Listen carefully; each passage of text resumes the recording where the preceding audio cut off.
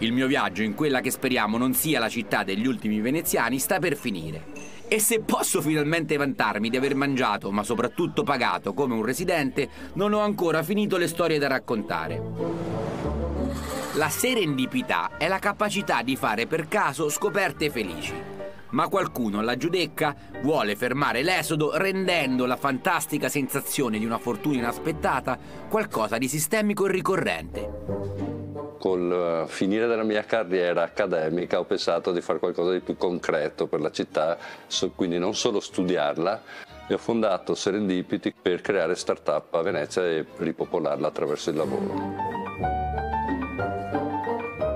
questa Venezia che vediamo è il frutto di grandi operazioni commerciali ad, ad alto rischio. Le start-up sono ad alto rischio sotto certi punti di vista, ma anche potenziale eh, alto ritorno, quindi eh, un po' torniamo alle origini. Venezia è quella che è, tutti questi palazzi, perché qua c'era come se fossero tutti i Bill Gates, i Bezos, e Elon Musk del mondo, tutti qua a Venezia per centinaia di anni. Cioè, con quello si, fa, si costruisce una città come Venezia. Quindi il nostro è un tentativo, un po' in extremis, diciamo, di recuperare il tempo perduto e di far sì che Venezia possa diventare una capitale delle start-up. E qua, da quanto ci dice il direttore Gilad, queste start-up che vede qui e ne vede tante lui all'anno sono tra le migliori. I think some people think, well, Venice is finished. That's it. You come here, whatever was done uh, in history, we just preserve it.